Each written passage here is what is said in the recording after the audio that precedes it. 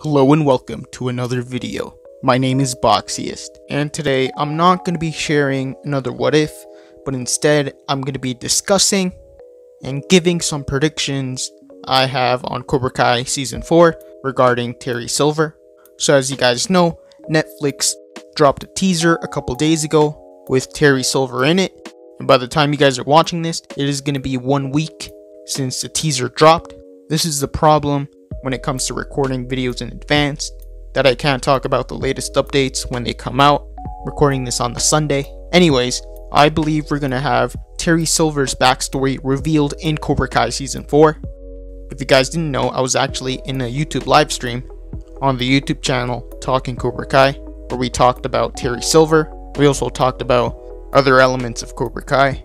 If you guys haven't seen that video, link will be in the description. Also go subscribe to Talking Cobra Kai. Anyways, back to the video. So I believe that we're gonna see Terry Silver during the war, and we're gonna see the thing that pushes him and eventually will break him so that he becomes the Terry Silver we all know. I have a couple theories on what this event could be. I think we're gonna learn Terry's family also died prior to him joining the war, or he could witness something truly horrifying during the war that will strip away his humanity. We could see Terry blame himself for the death of his other friend. That could be the reason he even wears a ponytail to begin with.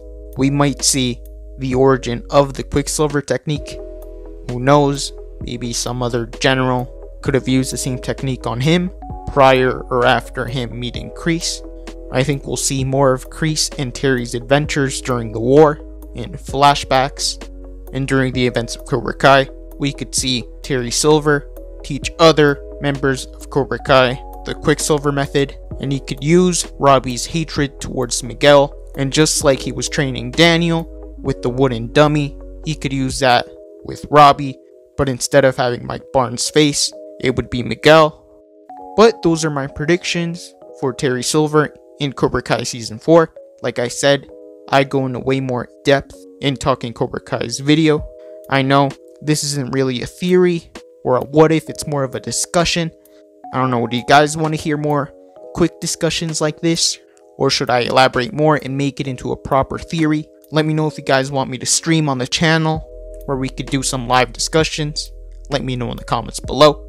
YouTube lets me know that the majority of you are not subscribed, so if you guys could subscribe, that would be much appreciated. Thank you guys for watching. Make sure to like this video, subscribe, and turn on post notifications. And I'll see you guys next time.